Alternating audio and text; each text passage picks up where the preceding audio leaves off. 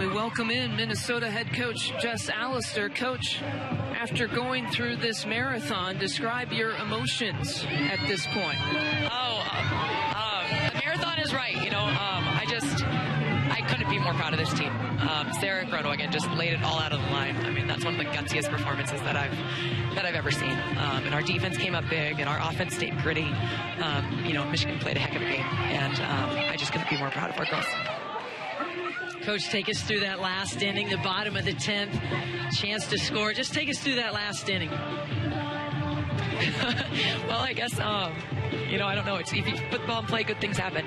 You know, Dwyer got that going. Um, that was awesome. Wagner stealing a base is huge. Uh, and then Magna hit the ball hard, um, and then Nell hit the ball hard. And it looked like um, Sid Fabian had a great slide at home plate. So it was just gritty, gritty, gritty, um, getting tough in the box and um, just continuing to compete all day. You know, we've been out here for a long, long time. Um, our girls stay focused and they um, continue to compete uh, and did a heck of a job. To set up that game winner, you also needed production and continued production from the bottom part of your lineup. What can you say about the way, especially your seven, eight, and nine hitters have been able to set up moments for the top of your order? Yeah, well, that's something that we've talked about. Um, we've talked about all year is that we can get production from anywhere, we can get runs from anywhere. Um, it doesn't matter how many outs there are. There are. It doesn't matter where we're at in the lineup. Uh, we can always score, and I think we proved that today. This is the third Big Ten championship for this program. Sam Mackin, a player like Sam Mackin, this is her second. How do you describe this kind of championship team? What makes this team special? Uh, just resilient. Um, that was a tough game, and it would have been easy um, when it got a little bit hard early on um, to say, you know what, we did a good job, we had a good day, and, you know, call it a day. Uh, but we didn't.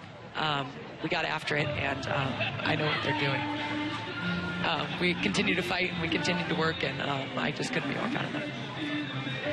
Coach, enjoy this one tonight, but what does this mean to you moving forward into the next round, the NCAA tournament?